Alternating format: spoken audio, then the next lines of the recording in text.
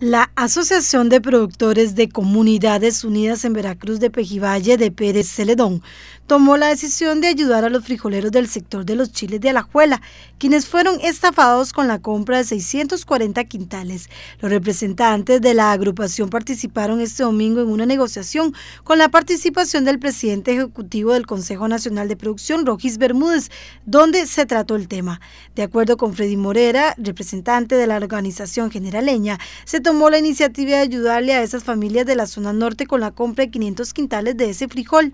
Hace unos días nos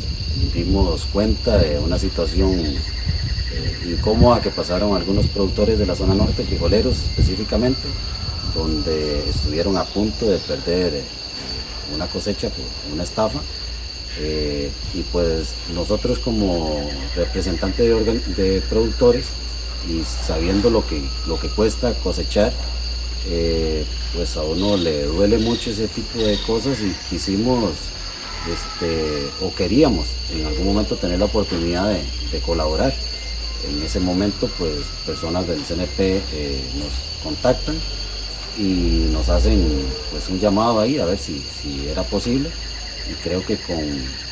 todo el gusto del mundo eh, estamos tratando de, hacerle frente. Prácticamente ya es un hecho que vamos a, ayudarles a comprar ese, grano eh, para que estos productores pues, puedan obtener sus ingresos del esfuerzo que, han realizado durante varios meses y puedan llevar a, sus casas eh, esa ayuda económica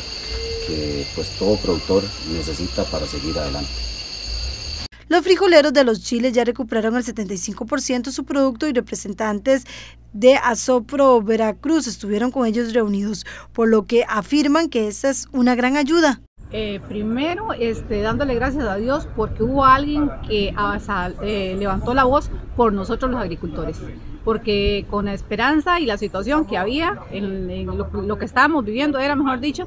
todo el frijol se había perdido. Gracias a Dios, eh, por medio del CNP, por medio de los medios o por medio que Dios metió la mano también, este, se pudo recuperar los 500 quintales. Ahora, eh, gracias a Dios, el frijol se negoció con esta gente del sur y dándole gracias a Dios que todo salió bien, digamos que hay este, ya una luz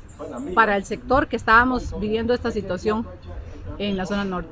Bueno, la visita yo considero que ha sido un éxito. Hemos eh, sentado dos organizaciones o dos regiones del país que están totalmente opuestas. Una, la organización de productores de la Asociación de Productores de Frijol de Veracruz de, de Pérez Celedón y los productores de los chiles de la Juela. Esto nos dice mucho la capacidad que hemos desarrollado de comercialización entre regiones y entre productores.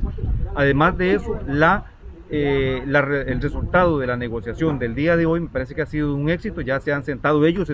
en un espacio privado, solamente ellos, donde se han puesto de acuerdo en la cantidad que están comprando y el precio definido que han definido ellos para esa comercialización. Por lo tanto, me parece que ha sido un, domingo provechoso y una eh, reunión bastante importante y de mucho provecho para las dos partes. Sobre la situación vivida, el jerarca del CNP indicó que se tiene que trabajar más en opciones para apoyar a los productores para evitar que sean víctimas de estafas. Vea, es una, es una, es es muy doloroso lo que ha pasado, sin embargo tenemos que como, como institución estar más cerca de nuestros productores, estar, darles más acompañamiento, más capacitación en el tema de comercialización, de no de, desarrollar algunas eh, prácticas que les permitan comercializar eh, más en el mercado abierto para no estar a expensas de estos estafadores que llegan a la finca a comprar el producto y luego no les pagan. De esta manera, una organización de la zona sur le brindó apoyo a una de la norte en la comercialización del grano.